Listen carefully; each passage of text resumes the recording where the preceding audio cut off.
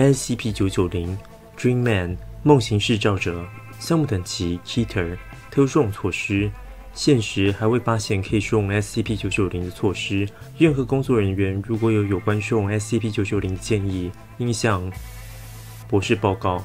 不论是谁提出任何建议，都欢迎。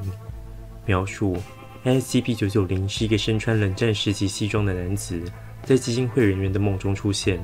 至今为止，未有人员在现实中遇见过 SCP-990。如果他真是个人类的话，那么我们还没发现他。目前还未有任何报告显示。SCP-990 出现在非基金会人员的梦中，从其 SCP-990 就出现在人员的梦中。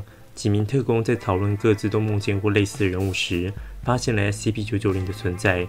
之后，大量特工报告梦见符合 SCP-990 特征的人物。此现象在事件990至07后正式列入 SCP。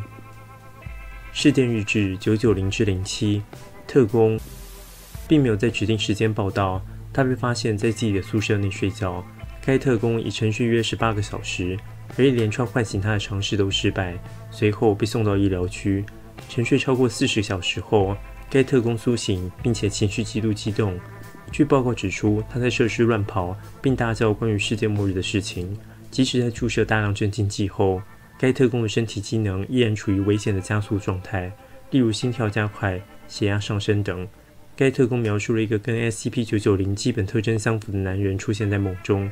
根据博士的报告指出，该特工详细描述了一连串事件，导致几发战术核弹向欧洲中部及东亚发射，最终灭绝了近百分之九十八的人类以及人类社会的彻底崩溃。该特工声称，以上资讯是 SCP-990 在他被困于梦中时对他详述的。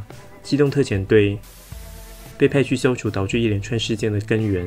最终，机动特遣队完成任务，避免危机发生，而特工却未能撑下去，因休克致死。事件九九零至零七后，SCP 九九零在很多基金会人员的梦中出现，并带来类似的预兆。目前为止，再也没有类似事件九九零至零七的情况发生。不过，SCP 九九零预测即博士的死亡确实无误。此外，还有观察站 Epson 三十八的毁灭以及。任何 SCP-990 带来的预兆，不论其严重性，都应向基金会报告。如果 SCP-990 在其梦中出现的话，基金会人员可以自由与他交谈，并鼓励他们向 SCP-990 套取有关他的资讯。此外，博士曾表示，任何人能够证实 SCP-990 真的存在于世上的话，将得到丰厚报酬。文件990至02以下记录了博士与 SCP-990 的访谈，虽然。博士是在醒了以后才开始记录，但其记忆力向来都是高度准确及可靠。说出你的名字，你这是在跟我做访问吗？是啊，没问题吧？没问题，我乐意。那么，请说出你的名字。Tony 这个名字怎样？Tony，你叫 Tony。我相信一个人有权决定别人该怎么称呼他。那么好吧，就 Tony。事实上，我改变主意了。Richard 怎样？我没意见，那就 Richard。下一个问题，为何你要用胸罩恐吓基金会的人员？恐吓？谁在恐吓？你预言了一堆不幸的事件，有跟基金会有关的，也有跟世界末日有关的。那有谁因此真的受伤了？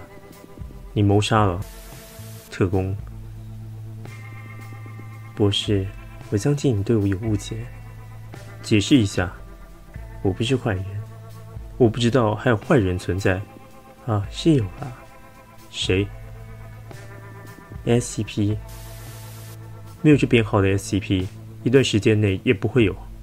哦，当然不是，他还未出世，你们基金会知道的还太少。这算是语言吗？你的闹钟响了。此时，博士被他的闹钟吵醒之后，开始抄录以上对话。